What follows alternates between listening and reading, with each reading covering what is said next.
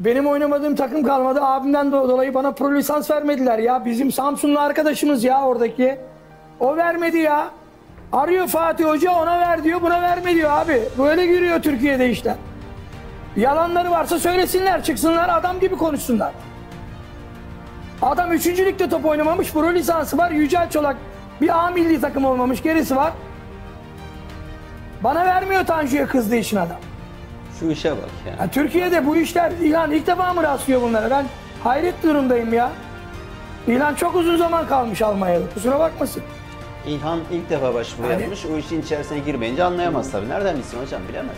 Ya, aynen öyle. Ama yani bu işler Türkiye'de liyakat falan hak getire. Adamın varsa kimin abisi daha büyükse, kimin babası daha büyükse, kimin daha iyi telefonu varsa onun sözü geçerli abi bu ülkede.